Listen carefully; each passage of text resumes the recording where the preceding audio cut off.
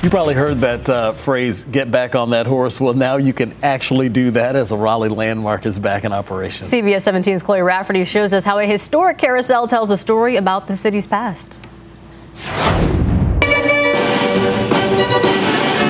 It's a sound that Raleigh has been waiting for for seven months.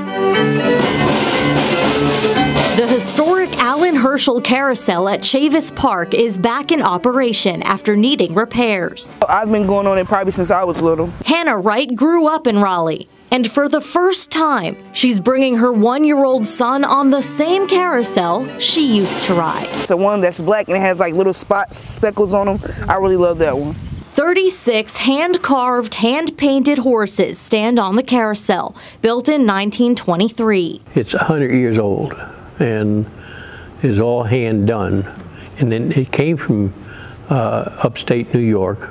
The city of Raleigh bought it in 1937 when they built Chavis Park. It served as a place where anyone could enjoy it, while other areas had limited access because of segregation. I think that's great that they brought something down here and they didn't exclude others.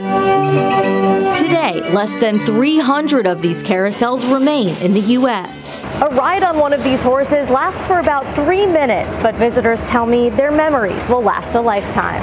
That's why I'm here. You know, it's all about that. Uh, I enjoy being around and you meet a lot of good people, nice people.